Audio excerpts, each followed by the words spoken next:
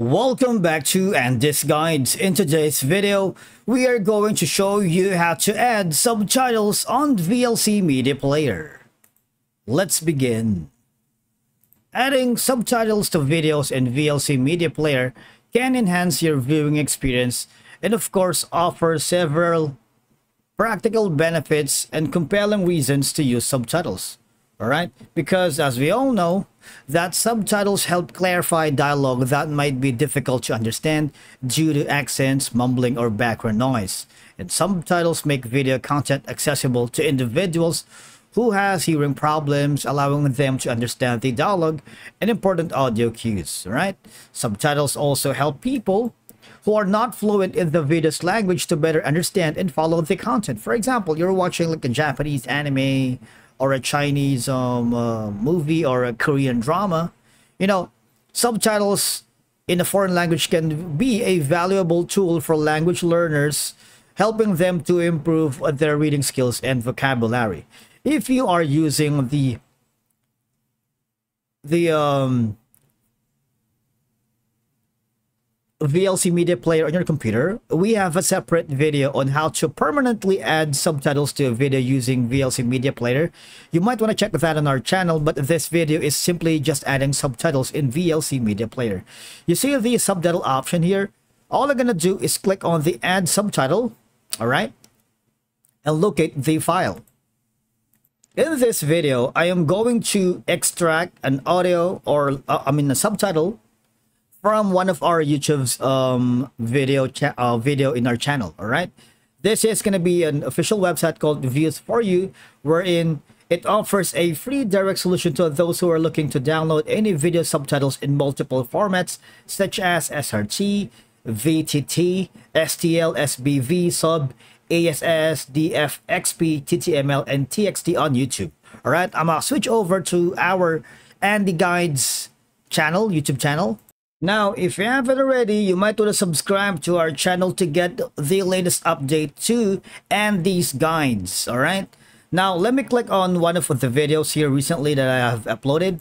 This one. Now here, all I'm gonna do is right click and copy the video URL and switch over to the downloader website, which is the views for you. Uh, here, I'm gonna paste it and click on search and I'm gonna extract the subtitles for free, alright? Just wait for it a little bit because it's loading. All right.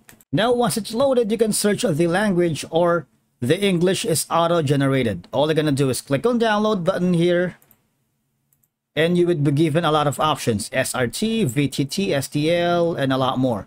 I'm going to select the SRT for now and then now here, all I'm going to do is click on subtitle and add a subtitle file. All right.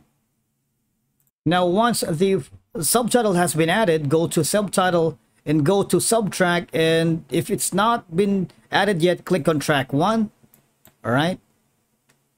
Now you see there's no subtitle appearing here on the video. Make sure you have downloaded the uh, right file or the uh, right format has been added. Otherwise, it's not going to be loaded here on the uh, VLC media player. Now, if you switch back to the mobile device, now we see when I watch a movie here on the mobile device, all right, all I'm going to do is very easy. Hover to the bottom right and then select the uh, subtitles. And there you go. If you can scrub it right now, you would be able to see something like any subtitles here, right? See this one? All right, so you can choose different uh, subtitles. We're looking for the uh, English subtitles for now. See that one?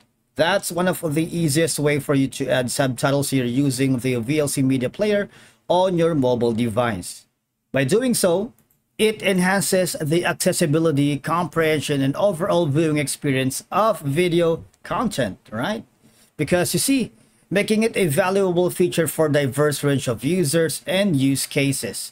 Because subtitles allows visitors, viewers to switch between different language tracks making content accessible to a wider audience in various languages. It facilitates the global distribution of the video content. That's it for today's video. Thank you so much for watching. We will see you again in the next one.